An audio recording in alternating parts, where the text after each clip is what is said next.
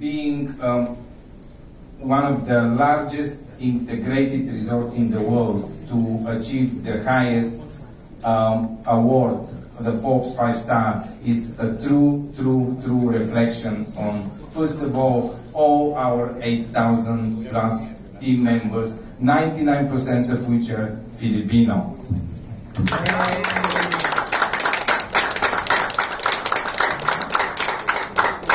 Really, a really uh, a reflection of the hospitality of the passion. Uh, I think uh, no one can argue around the world that the hospitality in, is embedded in the Filipino DNA, and we cannot be more proud of having this amazing resort in the Philippines. Um, it has been since 2006, since we, uh, 16, since we opened the, the resort.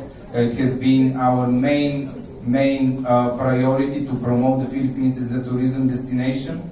And I think with, with that um, achievement today, it's an additional statement that um, we really have one of the best resorts in the world.